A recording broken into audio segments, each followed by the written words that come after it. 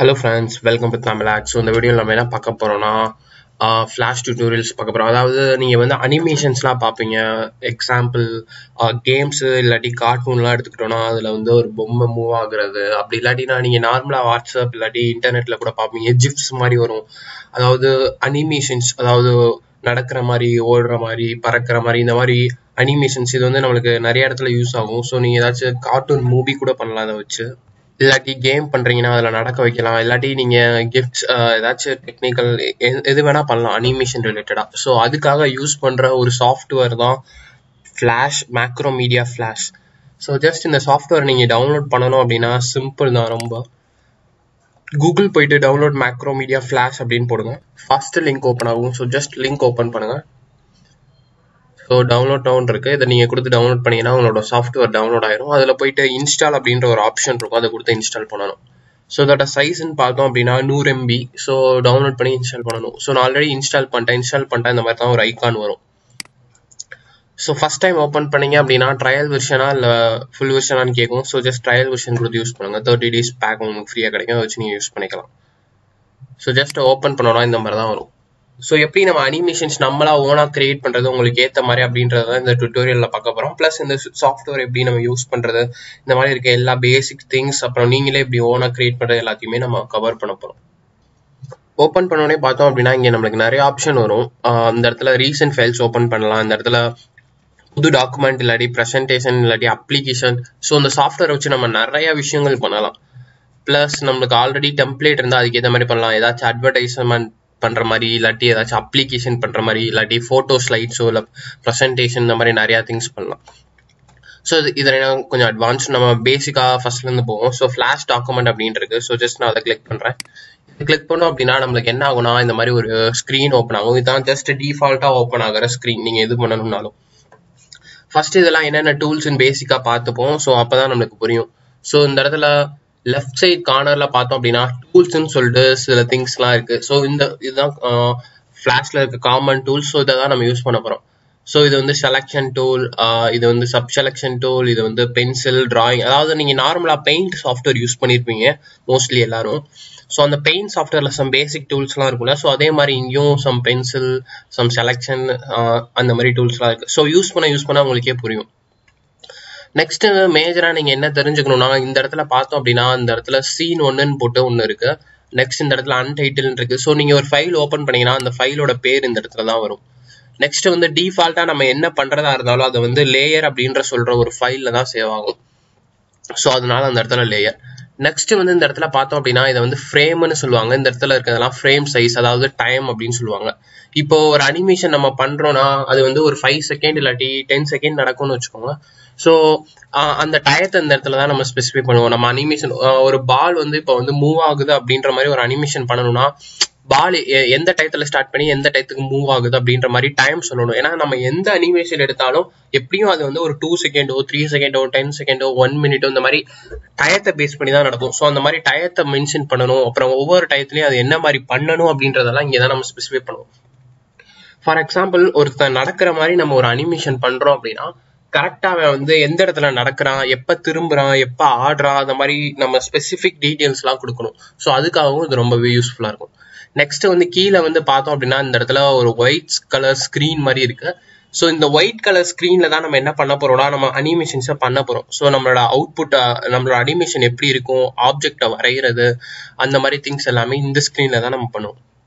And ஃபைனலாக கீழே வந்தோம் பார்த்தோம் அப்படின்னா நம்ம ஒவ்வொரு டூலையும் செலக்ட் பண்ணோம் அப்படின்னா அதுக்கு வந்து ப்ராப்பர்ட்டிஸ்லாம் இருக்கும். ஃபார் எக்ஸாம்பிள் இந்த இடத்துல போயிட்டு இந்த இதை செலக்ட் பண்ணேன் அப்படின்னா அதுக்கு ஏற்ற மாதிரி ப்ராப்பர்ட்டிஸ் இங்கே மாறும்.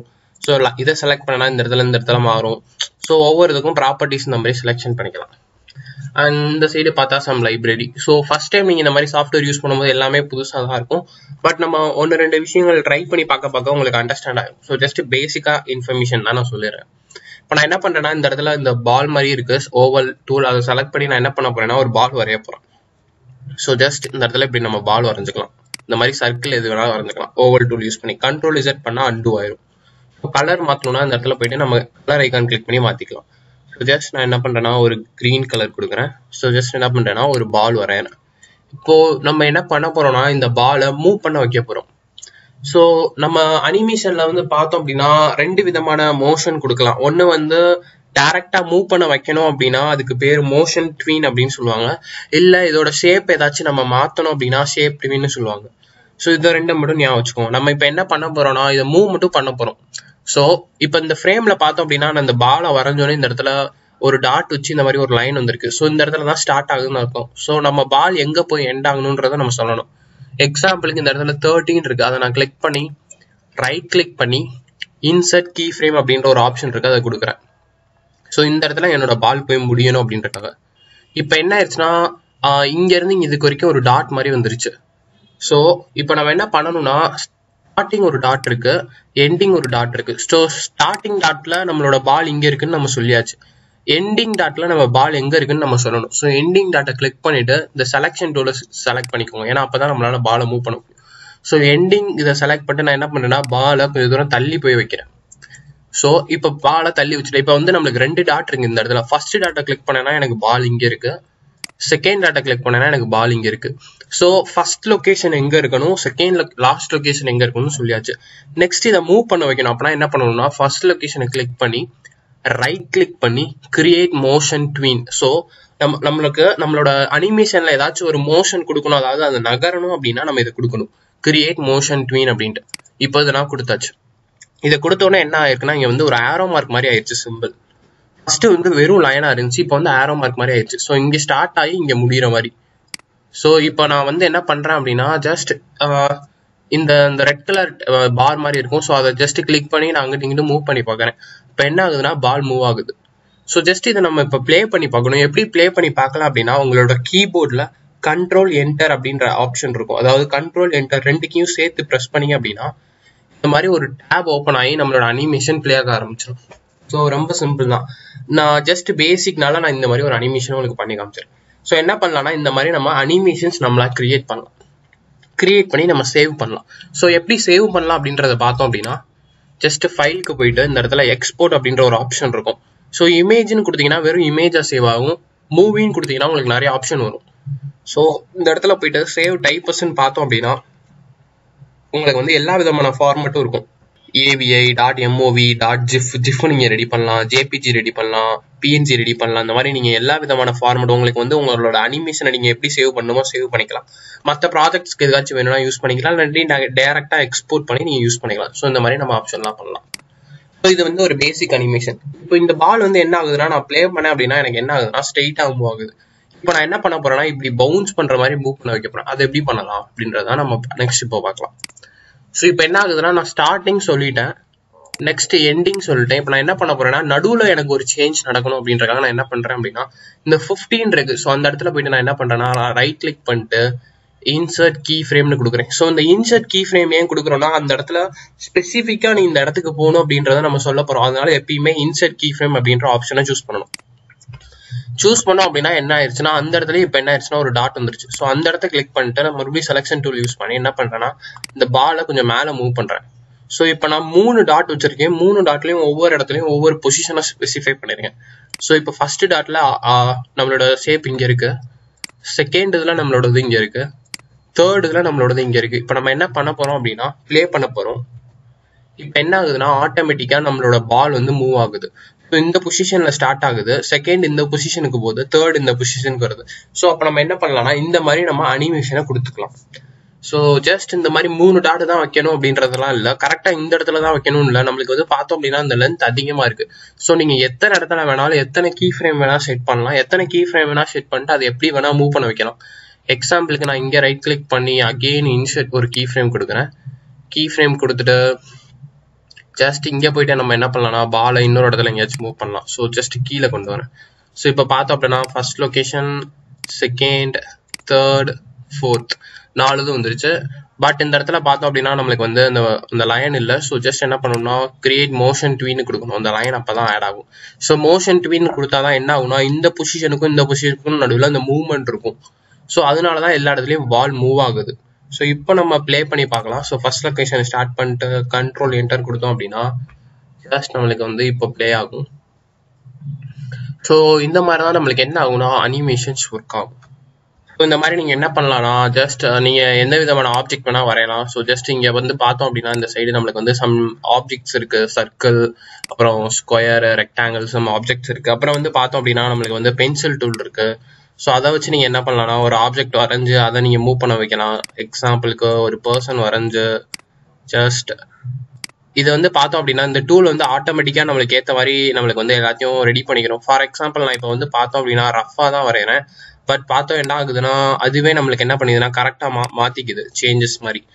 ஸோ என்ன பண்ணலாம்னா இந்த மாதிரி ஒரு ஆப்ஜெக்ட் வரைஞ்சு உப்ஸ் இந்த மாதிரி ஒரு ஆப்ஜெக்ட் நீங்கள் வரைஞ்சு அதை நீங்கள் மூவ் பண்ண வைக்கலாம் நான் ஜஸ்ட் வீடியோ டுட்டோரியலுக்காக ரஃபாக வரைகிறேன் நீங்கள் என்ன பண்ணலாம்னா நல்லா ஒரு ஆப்ஜெக்டாக வரைஞ்சு அதை எப்படி வேணால் மூவ் பண்ண வைக்கலாம். ஒவ்வொன்றுக்கும் டிஃப்ரெண்ட் டிஃப்ரெண்ட் கலர் கொடுக்கலாம். ஃபார் எக்ஸாம்பிள் இந்த இடத்துல நம்மளுக்கு கலர் டூல் இருக்குது அதை வச்சு நீங்கள் என்ன பண்ணலாம்னா ஒவ்வொரு இதுக்கும் டிஃப்ரெண்ட் கலர் கொடுக்கலாம். நீங்கள் கேம்ஸ் அனிமேஷன்ஸ் அப்புறம் ஏதாச்சும் கார்ட்டூன்ஸ்லாம் பார்த்துருப்பீங்க. அதுலலாம் கார்ட்டூன் கேரக்டர்ஸ்லாம் நடக்க வைக்கிறது ஓட வைக்கிறது இந்த மாதிரி அனிமேஷன்ஸ்லாம் இருக்கும். ஸோ அந்த மாதிரி நம்ம அனிமேஷன்ஸ் நம்மளே கொண்டு வரலாம். ஸோ இந்த மாதிரி நிறைய நிறைய ஆப்ஷன்ஸ் இருக்கு. பட் அதில் வந்து இன்னொன்று சேஞ்ச் என்னன்னா இப்போ வந்து இது வந்து ஒரே ஷேப் ஸோ இந்த மாதிரி ஒரே ஷேப்பாக ஒரே மாதிரி மூவ் பண்ண வைக்கிறது. அப்போ அந்த மாதிரி இதுக்கு எல்லாத்துக்குமே நம்ம மோஷன் ட்வின் யூஸ் பண்ணுவோம். அப்போ என்ன ஆகும்னா இது ஃபுல்லாக ஒரே ஷேப்பாக கன்சிடர் ஆகும். இந்த ஃபுல் ஷேப்பும் மூவ் ஆகுறது மோஷன் ட்வின் நெக்ஸ்ட் வந்து ஷேப்பே எப்படி மாத்துறது அப்படின்றத நம்ம நெக்ஸ்ட் பார்க்க போகிறோம் ஸோ ஜஸ்ட் நான் என்ன பண்ணிக்கிறேன்னா ஃபைல் நியூ கொடுத்துக்கிறேன். ஸோ ஜஸ்ட் புது ஃப்ளாஷ் டாக்குமெண்ட் ஓப்பன் பண்ணிக்கும் இப்போ நான் என்ன பண்ண போகிறேன் அப்படின்னா ஜஸ்ட் ஒரு சர்க்கிள் வரைஞ்சிட்டு இந்த சர்க்கிளை நான் என்ன என்ன பண்ண போகிறேன்னா ஸ்கொயராக மாற்ற போகிறேன் அது எப்படி பண்ணுறது அப்படின்றத பார்க்கலாம். ஸோ நான் இப்போ என்ன பண்ணிட்டேன்னா ஒரு சர்க்கிள் வரைஞ்சிட்டேன். ஸோ ஜஸ்ட் இந்த இடத்துல போயிட்டு ரைட் லெக் இன்சர்ட் கீ ஃப்ரேம் அப்படின்னு இருக்கு ஸோ அதை கொடுக்குறேன். ஸோ ஃபர்ஸ்ட் டாட்ல நான் என்ன பண்ணியிருக்கேன்னா சர்க்கிள் வரைஞ்சிருக்கேன். செகண்ட் டாட்ல என்ன பண்ணுறேன்னா ஜஸ்ட் நான் என்ன பண்ண போறேன்னா ஒரு ரெக்டாங்கிள் வரைய போகிறேன் ஊப்ஸ் ஸ்கொயர் ஸோ இப்போ பார்த்தோம் அப்படின்னா ஃபர்ஸ்ட் டாட்ல சர்க்கிள் இருக்கு. செகண்ட் டாட்ல ஸ்கொயர் இருக்கு. பட் நம்ம என்ன பண்ணக்கூடாது இந்த இடத்துல? மோஷன் ட்வீன் கொடுக்கக்கூடாது. மோஷன் ட்வீன் கொடுத்தா என்ன ஆகும்னா மூவ் மட்டும்தான் ஆகும். ஷேப் மாறாது. ஷேப் மாறணும் அப்படின்னா நம்ம என்ன பண்ணணும் அப்படின்னா ஜஸ்ட் இந்த இந்த டாட்டை கிளிக் பண்ணிக்கோங்க. இந்த மாதிரி செலக்ட் ஆயிரும். செலக்ட் ஆனதுக்கப்புறம் கீழே பார்த்தோம் அப்படின்னா இந்த இடத்துல ட்வீன் அப்படின்ற ஒரு ஆப்ஷன் இருக்கும். அங்க போயிட்டு நம்ம நார்மலா என்ன யூஸ் பண்ணுவோம்னா மோஷன் யூஸ் பண்ணுவோம். ஆனா நம்மளுக்கு இந்த இடத்துல ஷேப் மாறணும் அப்படின்றக்காக நம்ம ஷேப் யூஸ் பண்றோம். ஸோ ட்வீன் நன்னு இருக்கும். அதை போயிட்டு நம்ம ஷேப்னு மாத்தணும். ஸோ இந்த மாதிரி மாத்தினதுக்கு அப்புறம் என்ன ஆயிரும்னா ஜஸ்ட் ஃபர்ஸ்ட் இப்படி இருக்கு. அடுத்த பொசிஷன்ல இப்படி இருக்கு. ஸோ இப்போ நம்ம என்ன பண்ணலாம்னா ஷேப் பண்ணோம் அப்படின்னா என்ன ஆகும்னா நம்மளோட ஆப்ஜெக்ட் வந்து மாறும். ஷேப் மாறும். ஸோ சர்க்கிளா இருந்தது என்ன ஆகுதுன்னா இந்த மாதிரி ஸ்கொயர் ஆகுது. ஸோ இப்போ என்ன ஆகுதுன்னா சம் ரியலிஸ்டிக் அனிமேஷன் எஃபெக்ட் வந்து நீங்க ப்ரொடியூஸ் பண்ணலாம். ஸோ இந்த மாதிரி ஷேப் யூஸ் பண்ணி ஒவ்வொரு பொருளும் வந்து இன்னொரு பொருளா மாறுறது. ஸோ இந்த மாதிரி அனிமேஷன்ஸ்லாம் ரொம்ப கூலா செம்மையாக இருக்கும். நெக்ஸ்ட் என்ன பண்ணலாம்னா நம்ம வந்து ஒரு பாத்து செட் பண்ணி அந்த பாத்துல கரெக்டா போற மாதிரி. எக்ஸாம்பிளுக்கு நம்ம என்ன பண்ணலாம்னா இந்த மாதிரி ஒரு பாத்து வரைஞ்சிட்டு கரெக்டா இந்த லைன்ல தான் மூவ் ஆகணும் அப்படின்றத சொல்லலாம். ஏன்னா இப்போ நீங்க வந்து ஒரு பர்சனை நடக்க வைக்கிறீங்க நீங்க வந்து ஒரு ரோடு வச்சிருக்கீங்கன்னா கரெக்டாக அவன் என்ன பண்ணணும்னா அந்த ரோட்லயே நடந்து போகணும் அப்படின்ற மாதிரிலாம் நீங்க ட்ரை பண்ணணும் அப்படின்னா அதுக்கு என்ன பண்ணலாம்னா நம்ம பார்த்து வைக்கலாம் ஸோ ஒரு ஸ்பெசிஃபிக் பார்த்து வச்சுட்டு அந்த பாத்துலயே அவனை போகிறது அதாவது அவனை கைட் பண்றது அதாவது அந்த ஆப்ஜெக்டை கைட் பண்றது. ஸோ அந்த மாதிரிலாம் நம்ம பண்ணலாம். ஸோ ஜஸ்ட் என்ன பண்றேன்னா ஃபைல் நியூ கொடுத்துக்கிறேன். நியூ ஃபோல்டர் ஓப்பன் ஸோ இப்போ என்ன பண்ண போறோம்னா நம்ம ஒரு ஆப்ஜெக்ட் வரைஞ்சி பாத்துல வரைய போறோம். அப்போ நம்ம ஃபர்ஸ்ட் என்ன பண்ணணும்னா நம்மளோட லேயர் இந்த இடத்துல இருக்குது அதை போயிட்டு ரைட் கிளிக் பண்ணிட்டு ஆட் மோஷன் கைடு அப்படின்ற ஒரு ஆப்ஷன் இருக்கும். மோஷன் கைடு ஸோ ஜஸ்ட் அதை கிளிக் பண்ணுங்க. இப்போ மோஷன் கைடுன்னு கொடுத்தோடனே நம்மளோட மவுஸ் பாயிண்டர் ஆட்டோமேட்டிக்கா என்ன ஆயிரும்னா ஒரு பெண்ணு மாதிரி மாறிடுச்சு இப்போ வந்து நீங்க பாத்தீங்க அப்படின்னா தெரியும். பெண்ணு மாதிரி இருக்கு. இப்போ நம்ம என்ன பண்ணணும்னா பார்த்து வரையணும். எப்படி அது மூவ் ஆகணும் அப்படின்றது. ஸோ ஜஸ்ட் நான் என்ன பண்றேன்னா இப்படி வரைகிறேன் ஸோ இந்த மாதிரி நான் ஒரு பாத் வரைஞ்சிருக்கேன். நெக்ஸ்ட் நான் என்ன பண்றேன்னா அந்த இடத்துல கைட் லேயர் இருக்கு. அதை விட்டுட்டு ஜஸ்ட் லேயர் ஒன்னுன்றதை கிளிக் பண்ணிக்கிறேன் இப்போ நான் போயிட்டு என்ன பண்றேன்னா ஆப்ஜெக்ட் வரைகிறேன் ஸோ ஜஸ்ட் இதை கிளிக் பண்ணி ஸ்டார்டிங் பொசிஷன் இங்க இருக்கணும் எனக்கு. ஸோ ஜஸ்ட் இங்கே செலக்ட் பண்ணியாச்சு. நெக்ஸ்ட் இந்த இடத்துல போயிட்டு எண்டிங் பொசிஷனை போயிட்டு இன்சர்ட் கீ ஃப்ரேம் கொடுத்தாச்சு. நெக்ஸ்ட் அதே மாதிரி மேலேயும் போயிட்டு இன்சர்ட் கீ ஃப்ரேம் ஸோ ரெண்டு இடத்தையும் ஒரே மாதிரி முடிக்கணும். ஜஸ்ட் லேயர் ஒன்று அன்னைக்கு அகெயின் செலக்ட் பண்ணிட்டு ஃபர்ஸ்ட் டாட்ல வந்து இது இருக்கு. ஸோ செகண்ட் டாட்ல போயிட்டு என்ன பண்ணணும்னா அதை மூவ் பண்ணணும். ஸோ என்ன பண்ணியிருக்கேன் ஃபர்ஸ்ட் டாட்டில் இங்கே இருக்கு. செகண்ட் டாட்டில் இங்கே இருக்கு. மேலே வந்து கைட் லேயரில் ஜஸ்ட் இந்த மாதிரி பிளாக் கலரில் நான் ஒரு லைன் வரைஞ்சிருக்கேன். ஸோ இப்போ நம்ம என்ன பண்ணலாம்னா இதை நம்ம ப்ளே பண்ணி பார்க்கலாம். ப்ளே பண்ணால் என்ன ஆகும்னா என்ன பண்ணலன்னா மோஷன் ட்வீன் ஆட் பண்ணல. ஸோ அதனால மூவ் ஆகாமல் இருக்குது so right click create motion tween கொடுக்கணும். மோஷன் ட்வீன் கொடுத்தாதான் என்ன ஆகும்னா மூவ் ஆகும். ஸோ ஜஸ்ட் கண்ட்ரோல் என்டர் கொடுக்குறேன். இப்போ என்ன ஆகுதுன்னா கரெக்டாக நான் வரைஞ்ச வரைஞ்ச பாதையிலேயே மூவ் ஆகுது. ஸோ ஜஸ்ட் இப்போ நீங்கள் பாருங்க. நான் பிளாக் கலரில் ஒரு பாத் வரைஞ்சிருக்கேன் அதாவது இப்படி வரைஞ்சிருக்கேன். ஸோ அதே பாத்தில் மூவ் ஆகுது. எக்ஸாம்பிளுக்கு நான் பார்த்த வேற மாதிரி எப்படி வரைகிறேனோ அப்படி போகும். ஸோ நீங்கள் எந்த மாதிரினா கரெக்டாக எந்த இடத்துல எப்படி போகணும் அப்படின்றத நம்ம வரைகிறோம் அதாவது கைட் பண்ணுறோம் அதனால தான் அது என்னன்னு சொல்கிறாங்கன்னா கைட் லேயர் ஸோ இதை வச்சு நம்ம என்ன பண்ணலாம்னா நம்ம எந்த மாதிரி அனிமேஷன் பண்ணுறோமோ அந்த அனிமேஷனை கைட் பண்ணி கரெக்டாக அதை மூவ் பண்ண வைக்கலாம் ஸோ இதான் கைட் லேயர்னு சொல்லுவாங்க. ஸோ கைட் லேயர் வந்து நிறைய இடத்துல நம்மளுக்கு ஹெல்ப்ஃபுல்லாக இருக்கும். ஸோ அதை பற்றி தெரிஞ்சு வச்சுக்கிறது நம்மளுக்கு யூஸ்ஃபுல்லாக இருக்கும். நெக்ஸ்ட்டு வந்து என்ன பண்ணலாம்னா நம்ம வந்து மாஸ்கிங் பார்க்கலாம். மாஸ்கிங் வந்து ஒரு காமன் ஃபீச்சர் கிளாஸில் யூஸ் பண்ணுறது ஸோ அதை என்ன பண்ணோம்? அதை எப்படி யூஸ் பண்ணுறதுன்னு பார்ப்போம். எக்ஸாம்பிளுக்கு ஃபைல் நியூ கொடுக்குறேன். ஸோ நியூ ப்ராஜெக்ட் ஓப்பன் பண்ணிக்கிறேன். இப்போ என்ன பண்ண போகிறேன்னா ஒரு இமேஜ் இம்போர்ட் பண்ண போகிறேன் ஸோ ஃபைல் இம்போர்ட் அப்படின்ற ஒரு ஆப்ஷன் இருக்கும். அதில் போயிட்டு இம்போர்ட் டு லைப்ரரி அப்படின்ற ஆப்ஷன் இருக்கும். File import import to library so இங்கே போனீங்க அப்படின்னா நிறையா பிக்சர்ஸ் இருக்கும். ஸோ ஜஸ்ட் ஏதாச்சும் ஒரு பிக்சர் செலக்ட் பண்ணிக்கோங்க. அதாவது உங்களோட ஃபோல்டர் வரும். அதில் போயிட்டு நீங்கள் ஏதாச்சும் ஒரு பிக்சர் செலக்ட் பண்ணிக்கலாம். ஸோ ஜஸ்ட் நான் என்ன பண்ணியிருக்கேன்னா ஒரு இமேஜ் அதாவது பிக்சர் செலக்ட் பண்ணியிருக்கேன் அந்த பிக்சர் வந்து பார்த்தோம் அப்படின்னா இந்த இடத்துல ரைட் சைடில் இருக்கும். ஸோ அதை ஜஸ்ட் ட்ராக் அண்ட் ட்ராப் பண்ணலாம் அந்த இடத்துல. ஸோ இந்த இடத்துல வரும். நம்ம செலக்ட் பண்ண பிக்சர் இங்கேருந்து ட்ராக் அண்ட் ட்ராப் பண்ணும் ஸோ நம்மளோட பிக்சர் இந்த இடத்துல வந்துருச்சு. இது வந்து லேயர் ஒன்ல இருக்கு. ஸோ இப்போ நம்ம என்ன பண்ண போறோம்னா லேயர் டூ ஒன்று இப்போ தான் ஃபர்ஸ்ட் டைம் புதுசாக கிரியேட் பண்ண போறோம். இதுக்கு முன்னாடி நம்ம லேயர் டூவே ஒன்று கிரியேட் பண்ணல. ஸோ பேக்ரவுண்ட் இமேஜ் வச்சு அந்த பேக்ரவுண்ட் இமேஜ் மேலே அனிமேஷன் பண்றது. ஸோ அந்த மாதிரி தான். ஸோ லேயர் ஒன்ல என்ன பண்ணிருக்கேன்னா இமேஜ் வச்சிருக்கேன். இப்போ புது லேயர் கிரியேட் பண்ண போறேன். ரைட் கிளிக் போனோம் அப்படின்னா நம்மளுக்கு இந்த இடத்துல இன்சர்ட் லேயர்னு இருக்கும். இப்போ வந்து ரெண்டு லேயர் கிரியேட் ஆயிடுச்சு. இப்போ பார்த்தோம் அப்படின்னா லேயர் ஒன் லேயர் டூ இது வரைக்கும் நம்ம எப்பயுமே லேயர் ஒன்ல வச்சு தான் பார்த்தோம். இனிமேல் லேயர் டூ வச்சு கொஞ்சம் பார்க்கலாம். So layer one layer two so layer டூவை செலக்ட் பண்ணிட்டு நான் என்ன பண்றேன் அப்படின்னா ஒரு ஆப்ஜெக்ட் வரைகிறேன். இந்த இடத்துல எப்படி? ஜஸ்ட் மூவ் பண்ணிக்கலாம்.